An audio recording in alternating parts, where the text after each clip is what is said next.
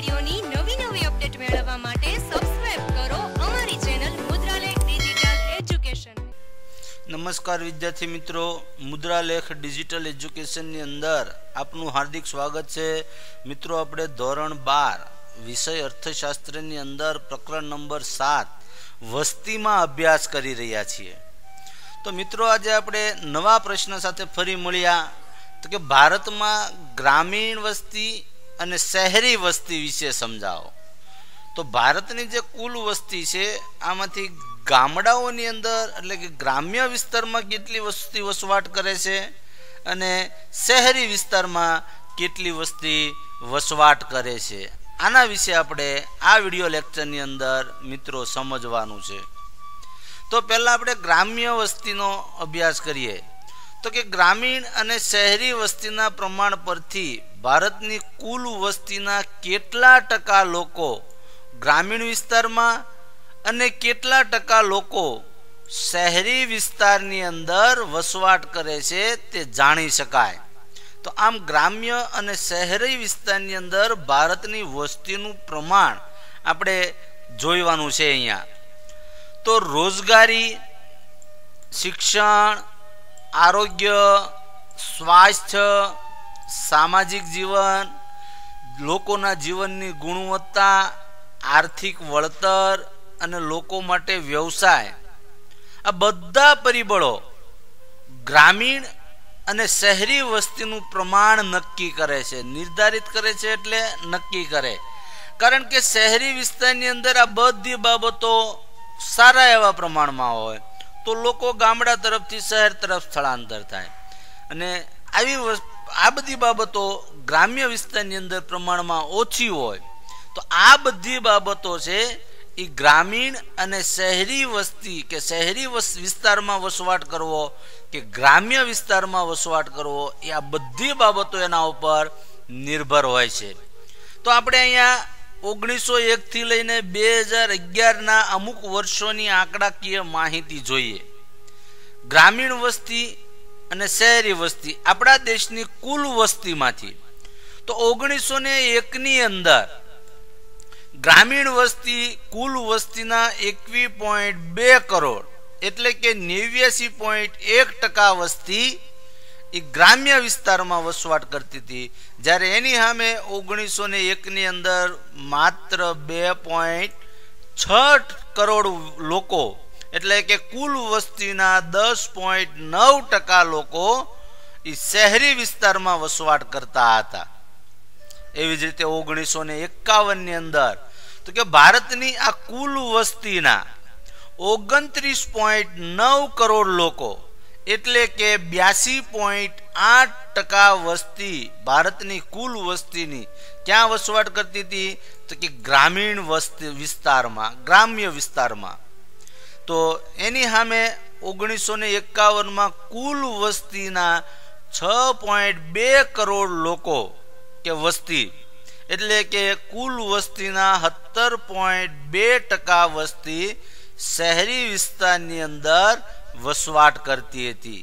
તો આવી જ રીતે આપણે ઓગણીસો ને એક્યાસીની અંદર જોઈએ તો બાવન પોઈન્ટ ચાર કરોડ લોકો, એટલે કે છોતેર પોઈન્ટ બોતેર ટકા લોકો અને શહેરી વસ્તીમાં તો કે પંદર પોઈન્ટ નવ, એટલે કે તેવીસ પોઈન્ટ અઠ્યાવીસ ટકા લોકો શહેરી વિસ્તારમાં વસવાટ કરતા હતા. અને એવી જ રીતે બે હજાર અગિયારની અંદર કુલ વસ્તીના ત્યાસી પોઈન્ટ બે કરોડ વસ્તી, એટલે કે કુલ વસ્તીની અડસઠ ટકા વસ્તી હજી ગામડામાં વસવાટ કરે છે. એની સામે શહેરી વસ્તીનું પ્રમાણ વધ્યું છે. તો કે કુલ વસ્તીના આડત્રીસ કરોડ લોકો, એટલે કે બત્રીસ ટકા વસ્તી શહેરી વિસ્તારમાં વસવાટ કરે છે. તો હવે આપણે અહીંયા આલેખ સ્વરૂપે જોઈએ. આ આલેખ તમારે જ્યારે આનું પછી વિશ્લેષણ કરવાનો આવે છે મિત્ર, ત્યારે તમે આ આલેખ સાથે રાખજો. અને જ્યારે આનું આ વીડિયો લેક્ચરની અંદર તમે વિશ્લેષણ જોતા હો ત્યારે એ વિશ્લેષણ જોતા જાયજો અથવા તો તમે આ આલેખ કોઈ બીજી ડિસ્પ્લેમાં પુશ કરીને રાખજો. એટલે તમને ખબર પડે. તો ઓગણીસો ને એકની અંદર આ બ્લુ કલર છે એ શહેરી વસ્તી બતાવે છે અને આ રેડ કલર છે એ ગ્રામીણ વસ્તી દર્શાવે છે. તો આવી રીતે આંકડાકીય માહિતી આલેખ સ્વરૂપે રજૂ કરી શકાય. તો વિશ્લેષણ અને તારણો આપણે જોઈએ. તો કે અર્વાચીન સમયમાં દેશની કુલ વસ્તી, અર્વાચીન સમય એટલે પ્રાચીન સમય, તો કુલ વસ્તીમાં શહેરી વસ્તીનું પ્રમાણ ઉત્તરો ઉત્તર વધી રહ્યું છે. એટલે કે જેમ પ્રાચીન સમયથી હાલના આધુનિક સમય તરફ આપણે જોઈએ, તો કુલ વસ્તીમાં, શહેરી વસ્તીનું પ્રમાણ વધતું રહે છે. આપણે આગળ આંકડાકીય માહિતીમાં જોયું. તો અને આ શહેરી વસ્તીનું પ્રમાણ ઉત્તરોત્તર વધતું જાય છે, તો એના કારણે ઘણી બધી સમસ્યાઓ સર્જાય. જેમ કે, તો શહેરી વિસ્તારની અંદર ઝૂંપડપટ્ટીઓનો વ્યાપ એટલે કે એનો વિસ્તાર વધે. તો ઝૂંપડપટ્ટીઓનો વિસ્તાર વધે એટલે ગંદકીની સમસ્યા ઊભી થઈ છે. ત્યારબાદ અપૂરતી આંતરમાળખાકીય સગવડો, એટલે કે માનવીની જે પોતાની પાયાની જરૂરિયાત છે, તો કેવી? તો કે સરકાર અને વ્યવસ્થા તંત્ર આ માળખાકીય સુવિધા વીજળી, વાહન વ્યવહાર, પાણી, આ બધી પાયાની સગવડો સરકાર અને કોઈ પણ વ્યવસ્થા તંત્ર શહેરી વસ્તીમાં ઝૂંપડપટ્ટીનું પ્રમાણ વધે એટલે એને પૂરું પાડી શકે નહીં. હવે કચરાના યોગ્ય નિકાલની વ્યવસ્થા ન થતા પ્રદૂષણનું પ્રમાણ પણ વધી રહ્યું છે. આવું આપણે શહેરી વિસ્તારની અંદર શહેરી વિદ્યાર્થીઓને ખબર જ હશે. ઠેર ઠેર મોટા મોટા ઢગ આપણા કચરાના પડ્યા છે. તો આ તમામ સમસ્યાઓ આ ઉપરાંત દેશના અર્થતંત્રને, દેશની સમાજ વ્યવસ્થાને નુકસાન કરે એવી બાબતો, ગુનાખોરી, લૂંટફાટ ચોરી, સામાજિક દૂષણો, આ બધાનું સર્જન થાય. દાખલા તરીકે આ આલ્કોહોલ છે, ડ્રગ્સ છે, ગાંજો છે, આવી બધી પ્રવૃત્તિઓનું પ્રમાણ વધે. વર્ષ ઓગણીસો ને એકમાં ગ્રામીણ વસ્તીનું પ્રમાણ એકવીસ પોઈન્ટ બે કરોડ એટલે કે નેવ્યાસી પોઈન્ટ એક ટકા હતું, જે વર્ષ બે હજાર અગિયારમાં વધીને ત્યાસી પોઈન્ટ બે કરોડ એટલે કે અડસઠ ટકા થવા પામ્યું. એટલે ટકાવારીની દ્રષ્ટિએ જોઈએ તો ગ્રામીણ વસ્તીનું પ્રમાણ વધ્યું. એટલે એનો મતલબ એવો થાય મિત્રો કે ગામડા તરફથી શહેરી વિસ્તારમાં શહેરી વસ્તીનું પ્રમાણ આજે ઉત્તરો ઉત્તર વધવા લાગ્યું છે. આપણે શરૂઆતના વિશ્લેષણના તારણમાં વાત કરી છે. તો જેમાં ટકાવારીની દ્રષ્ટિએ ઘટાડો નોંધાયો છે. ગ્રામ્ય વિસ્તારોમાં કયા કારણો? તો કે રોજગારીની તકોનો અભાવ. તેમજ ગ્રામ્ય વિસ્તારમાં પ્રછન્ન બેકારી અને અર્ધ બેકારી. આ બધા કારણોસર ગ્રામ્ય વસ્તી છે એ શહેરી વસ્તી તરફ કે શહેરીકરણ તરફ સ્થળાંતર કરી રહી છે. તો આ તમામ રોજગારીની સારી એવી તકો શહેરમાં ઉપલબ્ધ હોવાથી ગામડાના લોકો ગામડા તરફથી શહેરો તરફ વળ્યા છે. તો વર્ષ ઓગણીસો ને એકની અંદર જોઈએ તો ઓગણીસો ને એકમાં શહેરી વસ્તીનું પ્રમાણ માત્ર બે કરોડ બે કરોડ પોઈન્ટ છ કરોડ હતું. એટલે ટકાવારીની દ્રષ્ટિએ જે તો કુલ વસ્તીના દસ પોઈન્ટ નવ ટકા વસ્તી જ શહેરી વસ્તી હતી. જે બે હજાર અગિયારમાં વધીને આડત્રીસ કરોડ એટલે કે બત્રીસ ટકા જેટલી થવા પામી છે, એટલે કે ટકાવારીમાં સારો એવો વધારો આપણને અહીંયા નોંધાયેલો જોવા મળે છે.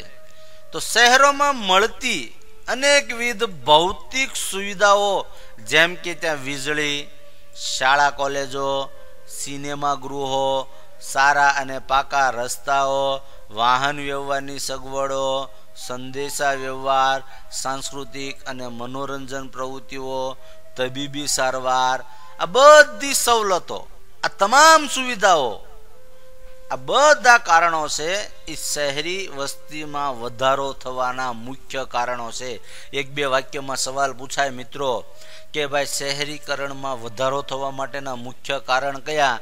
તો કે અનેક ભૌતિક સુવિધાઓ જેવી કે વીજળી, શાળા કોલેજો, સિનેમા ગૃહો, સારા અને પાકા રસ્તાઓ, વાહન વ્યવહાર, સંદેશા વ્યવહાર, સાંસ્કૃતિક અને મનોરંજન પ્રવૃત્તિઓ, તબીબી સારવાર, આ બધી સુવિધાઓને કારણે શહેરી વસ્તીનું પ્રમાણ ઉત્તરો ઉત્તર વધતું રહ્યું છે. તો આ ઉપરાંત ગામડાઓની અંદર જમીનદારી પ્રથાની નાબૂદી, ત્યારબાદ સાહુકારના ધંધા પરના નિયંત્રણને કારણે પણ કેટલાક લોકો શહેર તરફ વેળ્યા છે રોજગાર ધંધા માટે? મિત્રો, તમે જેના માધ્યમથી એજ્યુકેશન મેળવી રહ્યા છો, એવી અમારી ચેનલ મુદ્રાલેખ ડિજિટલ એજ્યુકેશનને સબસ્ક્રાઇબ કરો લાઇક કરો અને વધુ ને વધુ શેર કરો. આ ઉપરાંત અમારા ડિજિટલ એજ્યુકેશનના માધ્યમોનો પરિચય કરાવું. તો પ્લે સ્ટોરમાં અગિયાર બાર કોમર્સ ગુરુ નામે એપ્લિકેશન છે. આ ઉપરાંત એફબી અને ઇન્સ્ટામાં પણ મુદ્રાલેખ ડિજિટલ એજ્યુકેશન નામે પેજ ચાલે છે. Thank you come again best of luck